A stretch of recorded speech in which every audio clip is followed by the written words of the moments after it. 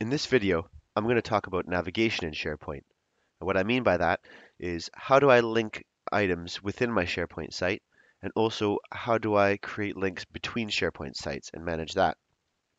SharePoint gives you uh, two main ways of doing this. The first is this left-hand links module here, and that's called the quick launch. And the second is this bar at the top here, and that's called the top links bar. And the difference between these two is that the left-hand quick launch is really meant to be what's called a local navigation. So I could go anywhere within this site. This left-hand links bar would follow me everywhere. The top bar would do the same. However, if I went to a different site, this left-hand links module would be different. So if I go to team site here, for example, what you'll see is that the left-hand links module is very different because it's configured differently for this site. You can see that here. The top link bar, however, is meant to be what's called a global navigation.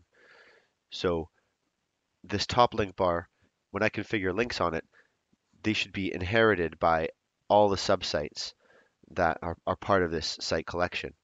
So we talked about permission inheritance earlier. This is kind of like a navigation inheritance.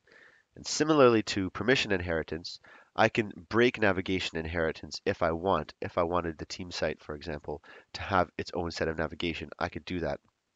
And I'll show you that in a moment. Now, the local navigation here on the left is very simple and easy to use. I can just click Edit Links.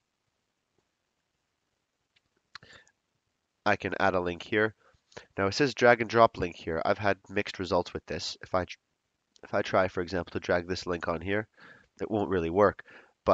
Other link items would work if you want to drag and drop them. So usually I just create the link myself manually.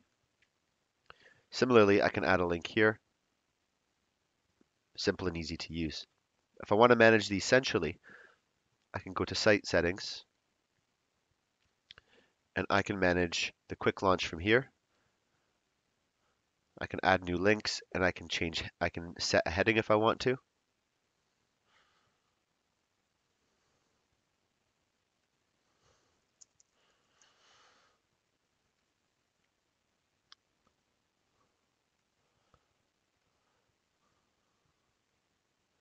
And I could also create a navigation link within that subheading. So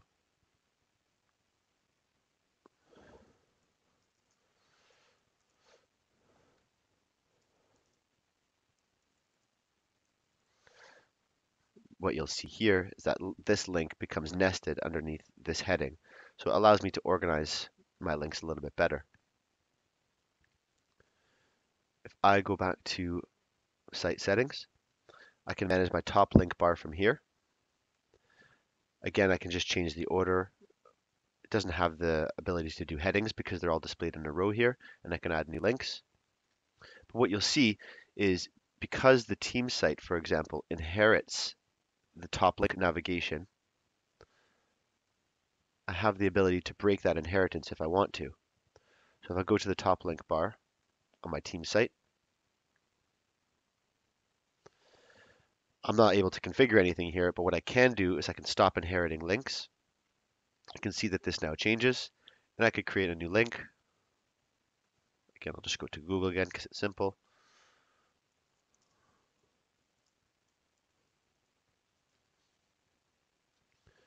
And you'll see now that this link bar is different than it is on my home page, on my home site.